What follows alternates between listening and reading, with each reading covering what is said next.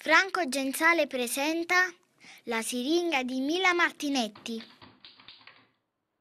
Elezioni comunali di Avellino. Intervistato da Il Mattino per l'ottima rubrica Visti da vicino, il candidato sindaco Luca Cipriano ha tra l'altro confidato. Sono nato nel centro storico, lì ci sono le mie radici. Ricordo ancora quando mi affacciavo dal balcone di casa per guardare il reuccio di bronzo. Ecco svelato l'arcano della candidatura a sindaco di Cipriano. Guarda il reuccio oggi e guardalo domani se convinto che al posto della statua di Carlucciello ci sarebbe stato un giorno quella di Lucariello.